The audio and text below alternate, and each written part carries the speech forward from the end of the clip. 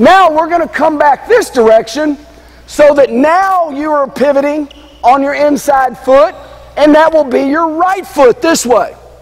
Also, give me the ball, please.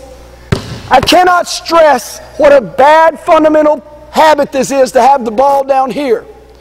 In the Dallas Metroplex area, the teams we have to play have great athletic quickness. If you operate with the ball down here, you will get it taken from you.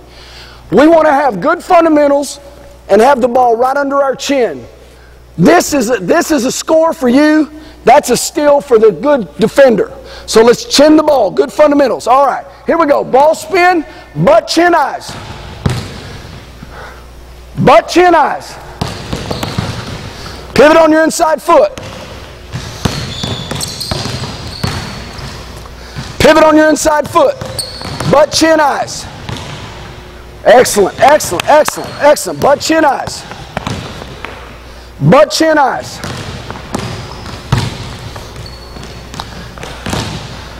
Butt chin eyes. Chin the ball, chin the ball, chin the ball.